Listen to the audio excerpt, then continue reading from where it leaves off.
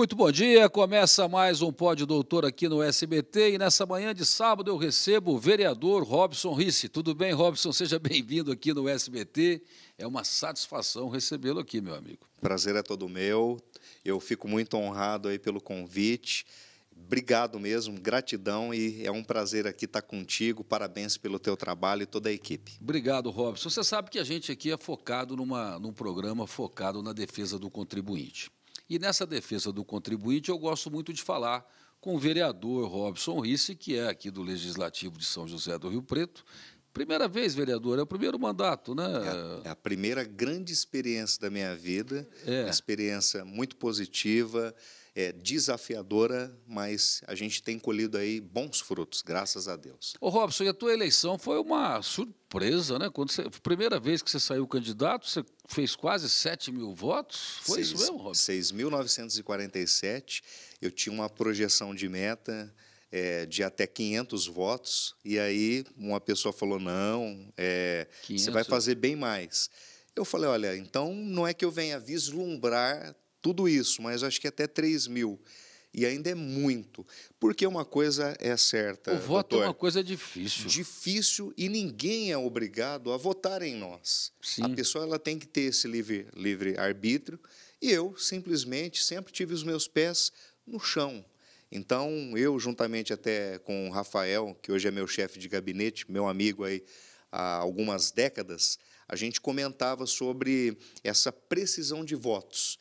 A gente trabalhou muito, né? É, entregamos aí mais de 10 mil panfletos na sola da bota e na palma da mão, conversando, colocava aqui uma máscara, é, tivemos o apoio aí do, dos, da, da, das famílias, né? Eu falo que, em primeiro lugar, a família, familiares, amigos, né? Claro que sempre colocar Deus à frente. E aí a gente saiu para fazer a campanha ali no tete a tete, tudo com muito cuidado, porque em plena pandemia tinha algumas restrições. E Robson, a política não era assim, não era não era assim um objetivo da sua vida, pelo que a gente sabe do seu histórico de apresentador, de jornalista, de um menino que sempre lutou desde foi Arpron?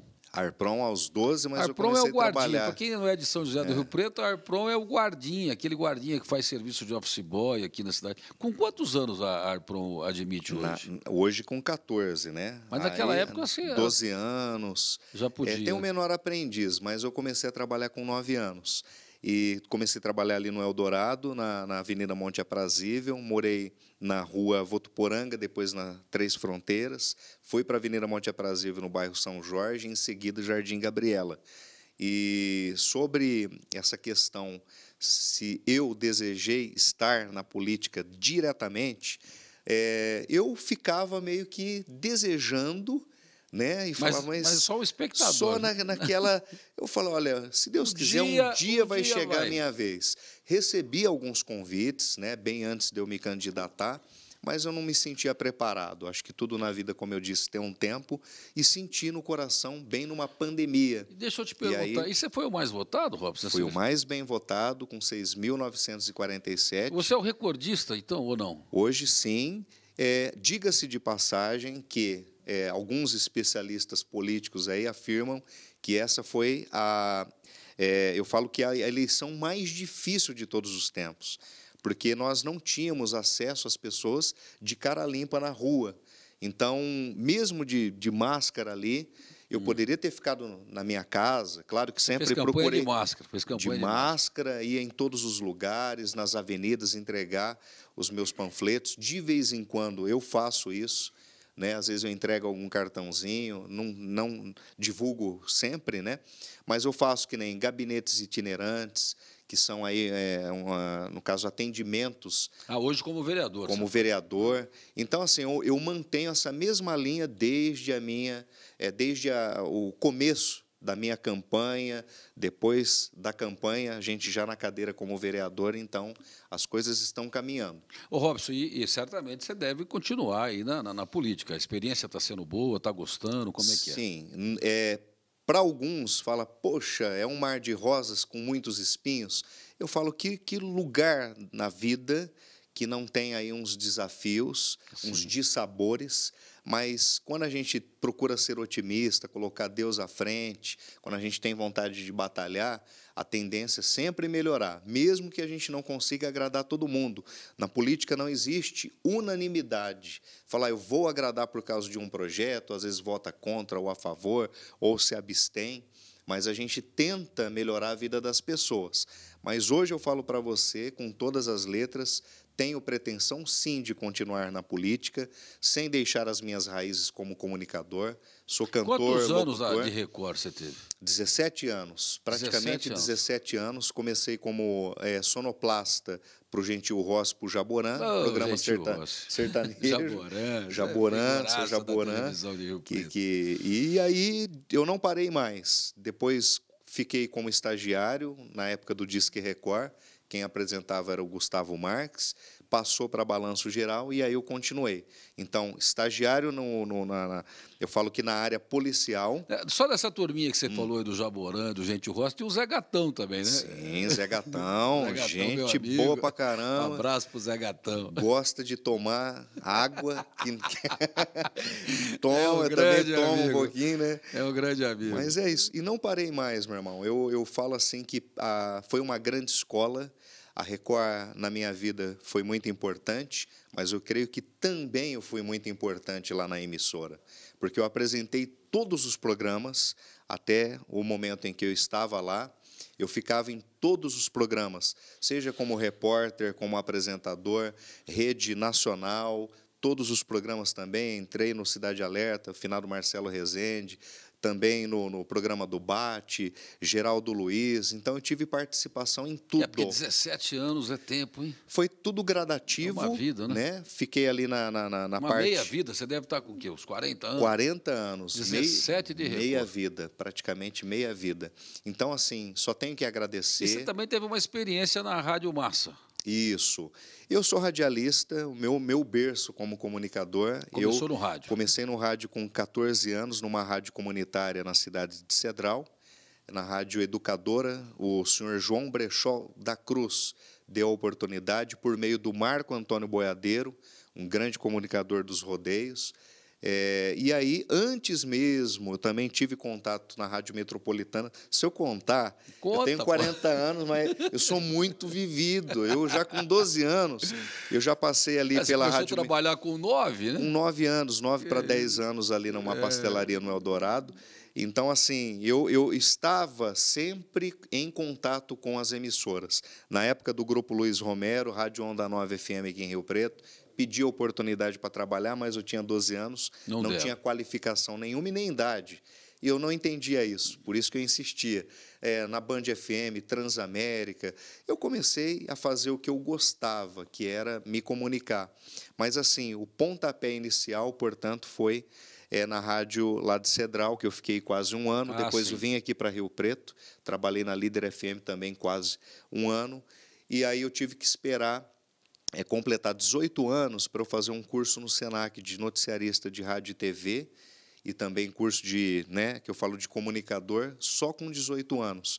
Não podia nem eu me emancipar para fazer esse curso. Porque naquela época acho que a emancipação era, era com 18, né? Era com 18, agora é 16. 16. E aí eu, eu, até tentei, né, um pouco antes, aí esperei um, um tempo, aí eu voltei novamente como garoto propaganda, já com 18 para 19, e aí com 22 anos, minto, com 20 anos, eu começo a fazer ali as pontes na, na emissora. Na Record. Por meio ali do, do Gentil Ross, do Jaborã. Fazia um trabalho também na, na produtora do, do, do, do Fábio, que com o irmão dele na época, que eles produzia ali as propagandas, eu, tanto locutor, também como utilizava a minha imagem.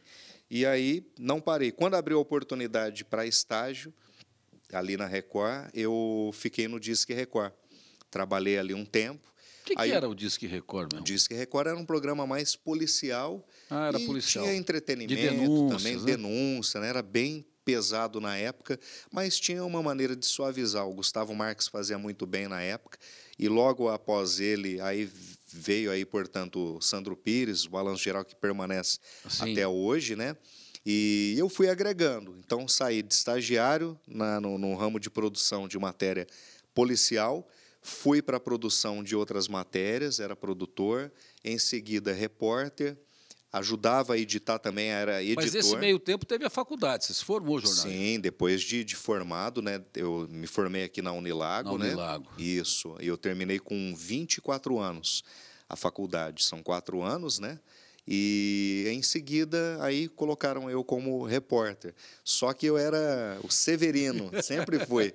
Eu era locutor, né? Gravava Severino é faz tudo. Tudo, propaganda da, das novelas ali bíblicas, eu que, que gravava, espera telefônica. Enfim. Agora, pegando esse, esse, esse Record, é, política, qual partido que você saiu candidato? É, é o partido lá da, da, da, Porque a igreja tem um. um... São três pilares, né? É, o pessoal que não sabe, é, o Republicanos ele está conectado à Igreja Universal. Que foi o seu partido que você saiu O partido candidato. que eu saí, não sou da Igreja Universal. Né, que às vezes tem gente, ah, para estar na Record você é o membro. Não, a Record não, não, não exige. Não exige isso. Pelo menos na minha época, né, nunca vi nada assim. Mas, então, são três pilares. A Record tem aí, portanto, o Republicanos e a Igreja Universal. Mas, falando de política, né, é, o Republicanos ali foi o partido e continua sendo, neste momento, o partido em que eu me encontro. Né? Mas, na época, não, não era Republicanos, né? Tinha era o... Partido Republicano Brasileiro. Ah, tá. Tinha Isso. o B. Tinha o R... É, R... é PRB. PRB. PRB. Isso. Agora só ficou Republicanos. Republicanos. PR. É o não, só republicanos. Ah, só mesmo. republicanos é, não tem. Estão tão, tão diminuindo né, os nomes, né? Estão é, copiando a política americana, Isso. né? É, democrata, republicano. É. Exatamente. Eu acho que estamos fazendo uma cópia aí, porque antigamente era tudo com P. É, todo mundo. Eu me lembro que tinha Arena e MDB. É isso. Aí veio uma lei que era obrigada a ter P em todos os partidos. É. Aí PMDB, é. Né, PSDB, tudo tinha P. Exatamente. Agora liberaram o P. O P. Ah, o P e como sub... vereador também, uma outra coisa interessante é que uhum. o vereador era obrigado a ter o número 6 no é? meio. É. Olha só. Tipo assim, 22, 610. 22, 630. Olha só. Tinha que ter o 6. É, essa época não, não, não é do seu não tempo. Não é do meu tempo. Aí liberaram, tanto é, é. que vamos falar do, falando do 22, mas poderia ser qualquer um. Uhum. Aí o pessoal põe 22, 222, 44, Olha 444. Só. Poxa vida. Dizer, mudou isso, mas tinha uma obrigação do seis que eu me recordo. Não sei se quem se lembra disso ou não. É, vai fazer um tempinho. Essa sua brilhante carreira de jornalista, né? Porque jornalista é uma, uma figura importantíssima porque influencia, porque leva a notícia e também influencia. Hoje o jornalista tem influenciado muito a vida das pessoas, né? porque não é mais um jornal que só transmite a notícia. Tem sempre o comentário. Como é que você vê isso aí como jornalista? É importante esse comentário, a opinião do jornalista, ou ele deveria se abster ao noticiar um fato? Dependendo da situação, é, somos uh, de natureza formadores de opinião. Só que a gente vive agora numa geração onde, aquilo que eu falei, não conseguimos agradar todo mundo é, por unanimidade, então a gente enxerga que dentro do jornalismo é importante sim a pessoa externar ali a opinião dela, mas tudo com muita cautela, tem que tomar cuidado com, com processos. E o viés político do jornalista? Isso, isso tem. Sim, ali. Todo mundo tem uma, uma, uma, uma opinião, uma tendência política, e às vezes ele acaba influenciando até nesse viés político. Né? Sim, sim. Mais para a esquerda, mais para a direita. Exatamente. Mais... Mas também tem que verificar como que está o alinhamento, às vezes, da, do próprio trabalho ali. Às vezes tem, tem local que, que não permite que a pessoa faça ali alguns a, comentários. A emissora não, não, não, Às vezes não, dependendo também do comentário, né? E da pessoa que vai comentar, né? Claro, eu sempre Porque tive muita cautela. Eu penso que o jornalista, é. para expressar, para fazer um comentário, expressar a sua opinião, ele tem que ter costa larga no sentido de respaldo, ele tem que isso. ter know-how para fazer isso, né? Isso. Não pode qualquer um vai lá e dar uma opinião, porque às vezes não é a opinião dele, não é... Não, não, não é que é desprovida de credibilidade. Exatamente. E, e, às vezes a pessoa ela não tem uma formação para discorrer ali no assunto. É. Ela vai, ah, vamos falar de política, começa a meter o pau na política, mas será que ele está discorrendo com, com mais profundidade naquele projeto? Será que ele leu tudo? Ele sabe como que está o andamento, os trâmites? Ah, vai falar de polícia? Né? No caso, o doutor aqui é formado, é qualificado no direito. Mas, assim, são vários tipos de vertentes dentro do direito olha, é civil, criminal, o que, que, que tem Não, ali para é, abordar? É, é, muita coisa. E às vezes, para falar simplesmente de algo que você sente no coração, você pode externar ali o teu sentimento, falar mesmo com peso ali, com rigor, mas Será que tem base? Será que tem profundidade naquilo que você vai discorrer? Exato. Porque senão você acaba ofendendo uma categoria, né, uma classe, ou até a própria população. Agrada de um lado e desagrada do outro. Então tem que fazer comentário com muita cautela. Né? E, e na política não é bem diferente disso. Né? Porque agora a política, eu costumo dizer o seguinte, Robson, você como jornalista e com uma vasta experiência, é, com um currículo brilhante, você pega, por exemplo, na política, a importância que a política é na vida das pessoas. Sim. Nós estamos vivendo no Brasil hoje temas a serem discutidos de grande significância da vida das pessoas. Sim. Por exemplo, o aborto, é, a questão de droga, a descriminalização de droga. São temas que a sociedade vai ter que enfrentar. É. E a política vai ter que enfrentar isso aí. Exatamente. E aí entra também, além do viés político, tem a questão religiosa. Questão religiosa. A, a, a gente está tá, tá vivendo que nem uma geração extremamente inflamada para alguns assuntos, né? E cada um tem uma educação de berço, tem uma formação ali dentro de, de suas famílias. É, cada um lida com realidades de maneiras diferentes. Então, assim, tudo você tem que tomar cuidado. Às vezes, é aquilo que eu te falei como formador de opinião, ali tem bastante gente assistindo, fala, putz, aquele cara ali não gostei do que ele falou, troca de canal. Ou é. às vezes, como um político, não gostei, vai lá, acaba votando, ou às vezes nem vota. E na tribuna você está discursando lá, está fazendo um. Tenho feito aí. E aí, e aí tem, tem, tem, a, a, tem o público, né? Sim, tem a plateia sim, lá. sim, sim. Às vezes ali a gente tem bastante gente acompanhando, tem também pela internet. É que nem eu tenho aí os últimos. E ali você, você dá uma opinião que você tem que ter a sua opinião, você tem que ter o seu voto, e às vezes é como você falou, não, não agrada todo mundo, Isso. não tem jeito. É. Porque você vê, tem gente que é a favor de liberar a droga, uhum. descriminalizar a droga. Tem gente que é a favor de descriminalizar o aborto. Isso. E, e às vezes eu tenho um pensamento contrário a essa. Sim, eu quero eu deixar, também. É, meu pensamento é: eu não sou a favor da descriminalização das drogas uhum. e também não, não sou a favor do aborto, como eu nós também. estamos vivendo. Você também pensa assim? Sou contra o aborto e também não sou a favor de liberar geral as drogas, não. Embora tenha gente que faz uma queda de braço sobre a liberação das drogas né, que ah, estão sendo servidas na sociedade, fala do álcool e também do tabagismo. É. Mas, enfim, quais são as portas de entrada para destruição do ser humano? Eu acredito que hoje tem que ter um equilíbrio na sociedade. É, a, a, o, a, o tempo passa, muita coisa muda, muita coisa muda, mas, ao meu ver, não deveria jamais liberar. Liberar, porque hoje eu vejo que nem o álcool para quem é, consome o álcool aí com frequência, tende a ter uma destruição de vida, isso aí está tá mais do que provado. Mas você veja que a gente também vive, vamos falar um pouco de, de mundo. Uhum. Então são vários povos, cada povo tem lá o seu país, a sua nação. Imagina você ter uma nação de drogados, por exemplo. Exatamente. Uma nação de drogados. Todo mundo aí na, na, na como é que é, na brisa da maconha. É verdade. Ou então na loucura da, da cocaína é lá. Crack, do né? crack. O que, que vai acontecer com. Uhum. É, não sei. É, a gente pode enfraquecer até como nação. Isso, uma, uma, uma, eu fico pensando isso. É, e, e tem muitas influências negativas, né? Às vezes a porta de entrada para as drogas vem a desestrutura familiar, é, tem a questão também de problemas mesmo, de doença por causa de depressão. Imagina então, liberar são, uma são droga. vários gatilhos. Você né? libera uma droga, se a droga está liberada, o cara que está lá exercendo uma função de polícia também está liberado. É. O cara é um policial, imagina. Você pega um policial drogado. Uhum. Né? Acabou de fumar uma maconha lá. É aquele negócio. É Porque eu vai proibir só para a polícia? Não vai, né? Exatamente. Olha que absurdo. Aí você pega o policial, ele começa a falar um negócio, esquece, volta no outro assunto. Exatamente. É brincadeira. Eu, eu, eu assim, sou a favor que tenha campanhas nas escolas. Eu sou fruto de um trabalho do Proerd, eu acho que aqui a maioria que deve conhecer.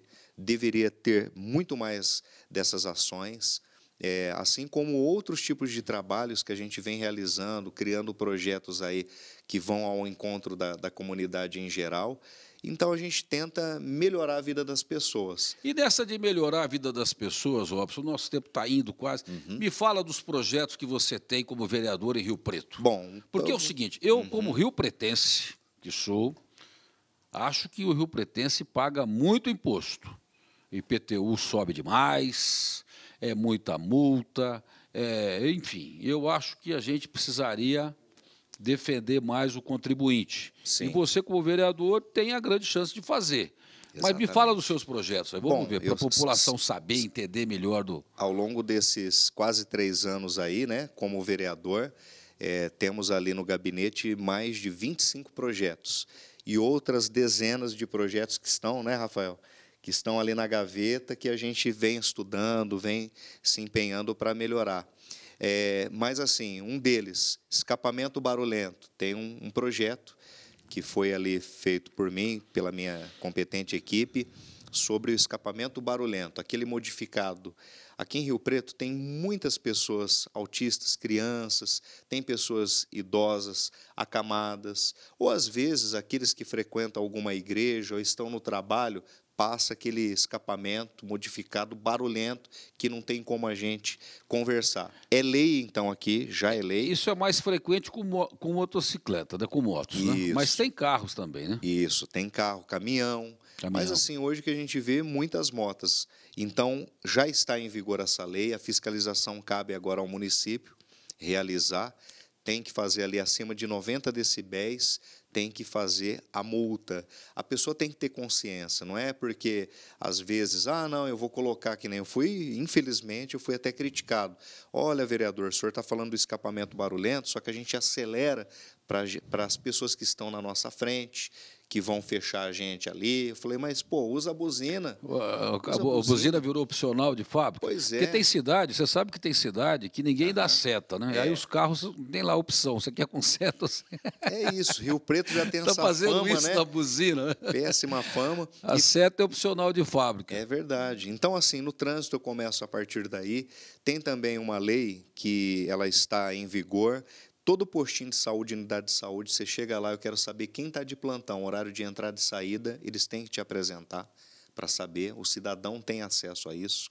Outra lei, agora, leis que estão em vigor, a segurança armada nas escolas. Eu fiz uma lei devido, infelizmente, a esses massacres, ataques às crianças, aos professores e muitos mortos ao longo desses últimos anos aí. No Brasil, infelizmente, aconteceu. Então, aqui em Rio Preto está tramitando uma lei de minha autoria que visa segurança armada nas escolas, tanto escola particular quanto escola pública, ou creche, que seja, qualquer unidade escolar. Essa segurança seria privada ou seria segurança seria pública? Seria privada, seria, no caso, terceirizada, terceirizada, tem que ser uma pessoa qualificada, quero deixar bem claro. Não é deixar uma arma de fogo na mão de qualquer pessoa, não, ela tem que estar habilitada. Segurança patrimonial, por exemplo, você chega num banco, por que tem ali detector de metais e tem ali uma pessoa armada? Porque tem um patrimônio, tem dinheiro ali, não é? é. E a, a Mais vida, vale a criança. É. A vida das nossas crianças, Mais dos vale nossos professores. Criança, tem esse, tem outro também que está tramitando que obriga o município uma lei também de minha autoria. No ato da entrega desse loteamento, o loteador, seja ele na hora de entregar com casa ou sem casa, tem que entregar um novo bairro com equipamento da saúde ou um equipamento da educação, creche ou escola ou uma UPA ou um postinho de saúde. Projeto. É um projeto, está tramitando. Tem também sobre luzes, é, lâmpadas de LED. Essas lâmpadas amareladas aqui em Rio Preto já são antigas. Tem um projeto meu que também está tramitando que obriga o município, no ato da troca de uma lâmpada queimada ou com defeito, dessas amareladas, tem que colocar lâmpada de LED. Ela é muito melhor, econômica, durabilidade muito mais extensa e ela também vai iluminar melhora aqui a nossa E a cidade. placa solar nos postes aí, não tem um projeto assim? Porque a gente gasta energia e com tanto sol que nós Hum, temos é, aí, aqui tanto tem, né? poste aí, colocar um, É, uma placa solar em cada poste. Sim, ah, tem, tem, tem projetos aí tramitando, né? E essa é uma realidade até nas unidades eh, escolares aí, tem um projeto que está, mas acho que de outro vereador. Mas é uma, uma, uma- eu falo que é uma realidade que a gente tem que viver hoje, né? E assim tantos outros projetos, viu, doutor, que eh, a gente vem pensando na população. Por exemplo, só para encerrar, contratação dos anjos da guarda no período noturno. A Rio Preto vive uma onda de furtos de fios aqui de cobre. E, infelizmente, tem unidades de saúde ou escolas que ficam dois, três dias sem atendimento, porque não tem ninguém ali olhando de madrugada. Acontece o que? Invasão.